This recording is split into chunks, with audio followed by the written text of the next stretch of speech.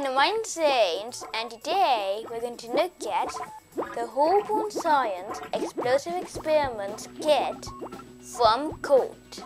Let's take a look out of the box. This includes goggles, a bottle top, and needle valve, a plastic two nose cones, a bot and some slime powder, a volcano, sodium hydrogen carbonate, and glue for the super snot.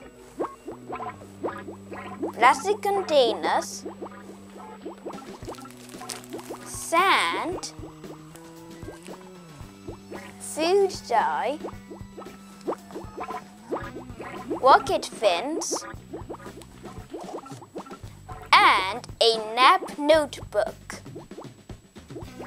Using the top secret nap notebook, we can launch a rocket, blow up a volcano, and complete many more explosive experiments. I'll be completing some of these experiments.